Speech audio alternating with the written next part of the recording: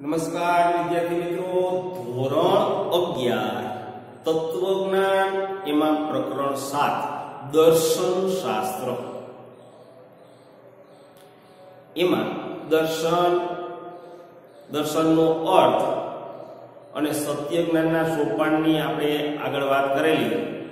આ એપિસોડની અંદર આપણે ભારતીય દર્શનની વિશેષતા શું પાશ્ચાત્ય દર્શન અને ભારતીય દર્શન છે એ બેમાં શું ભેદ છે, શું તફાવત અને શ્રેષ્ઠ કયું? વિચાર છે, ભારતીય દર્શન કે પાશ્ચાત્ય દર્શન? અને ભારતીય દર્શન શ્રેષ્ઠ છે, તો એના કારણો શું, એની શું વિશેષતાઓ? દાખલા તરીકે પાશ્ચાત્ય દર્શન છે વિચારશીલ છે. માત્ર વિચારે છે. જ્યારે ભારતીય દ્રષ્ટા દર્શન છે, એ જીવનલક્ષી છે. વિચારી અને એને અમલમાં ઉતાર્યું છે અને એને અનુભવ્યું છે. દાખલા તરીકે જેમ કોઈ ઔષધ છે, તો એ ઔષધનો ઉપયોગ કરતા પહેલા આપણે એને ટ્રાયલ કરીએ છીએ. જેમ અટાણે કોરોનાની રસીની વાત આવે છે તો અત્યારે એના first trial second trial third ટ્રાયલમાં આવી ગયા છે.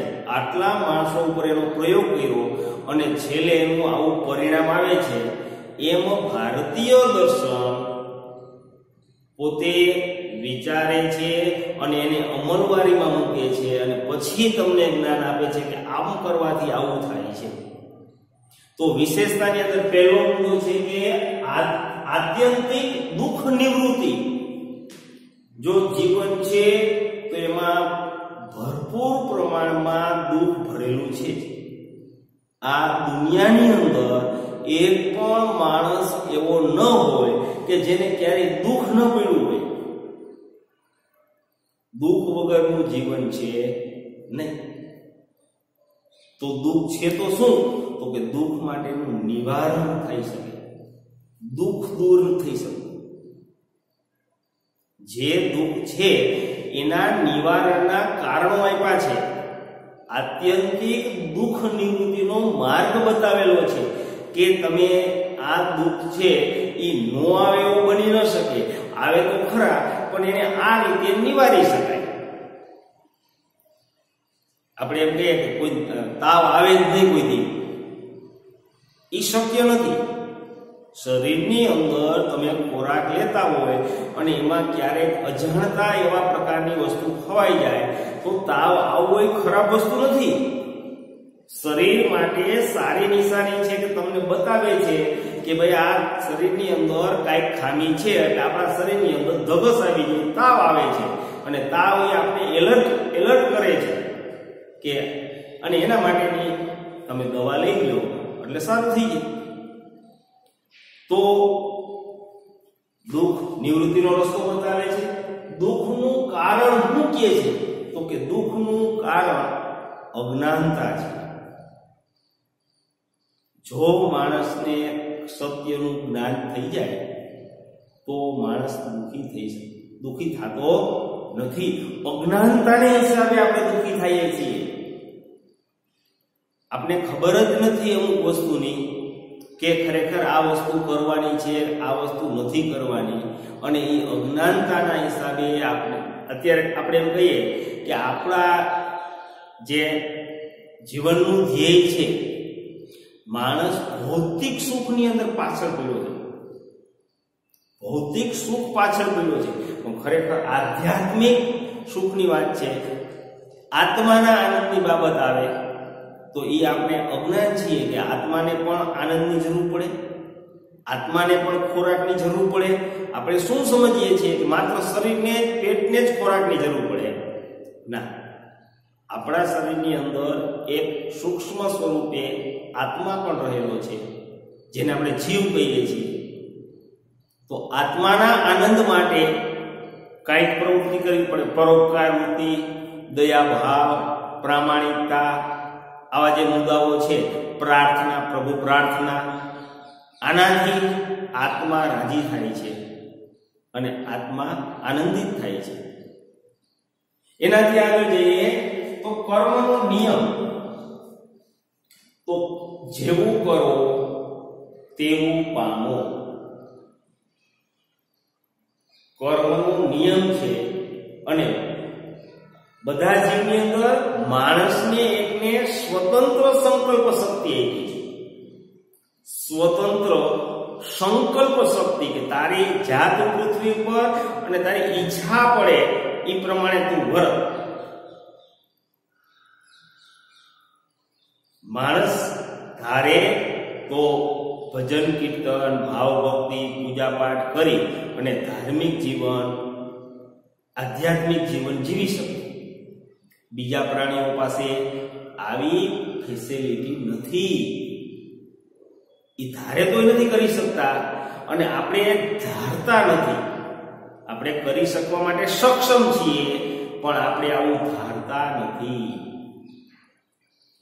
જેવું કર્મ કરે છે, એવું માણસને ફળ મળે છે. આ બને એવું કે ક્યારેક ઈ ફળ તત્કાલ મળી જાય ક્યારેક લાંબા સમય પછી મળે અને ક્યારેક એક જન્મ પછી પણ મળે.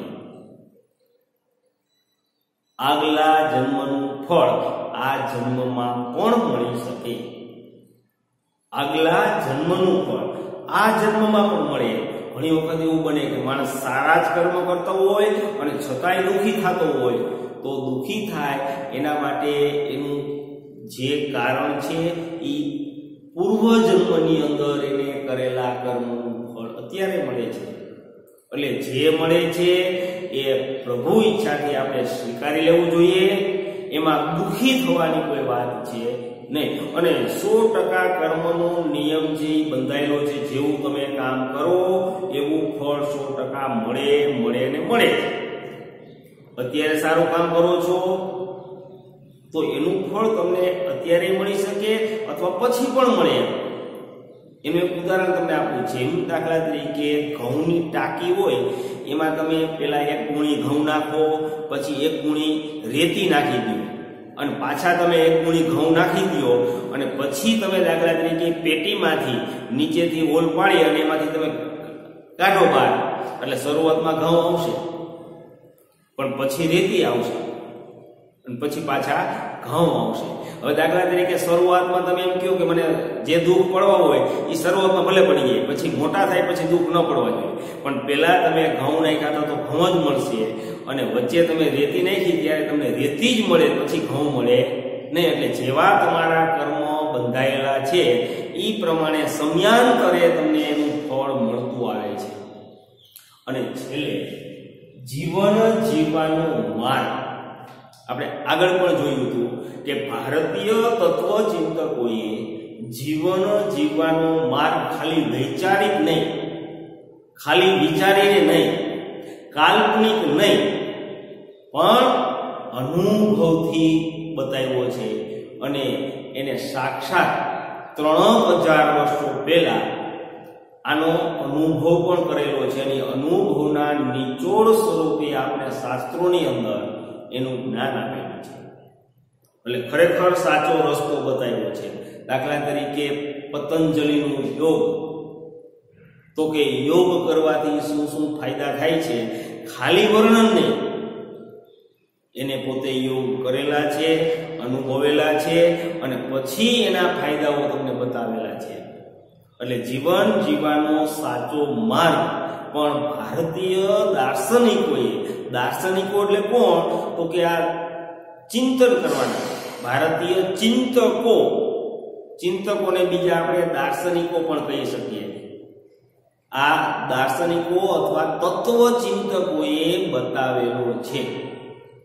એટલે પાશ્ચાત્ય કરતા ભારતીય દર્શન એટલા માટે ચડિયાતું છે કે ઓલા માત્ર ને માત્ર ચિંતનશીલ છે, વિચારશીલ છે, જ્યારે ભારતીય ચિંતન છે, એ વિચારની સાથે સાથે જીવનલક્ષી પણ છે. તો અહીંયા આપણે આ એપિસોડની અંદર આટલું રાખશું.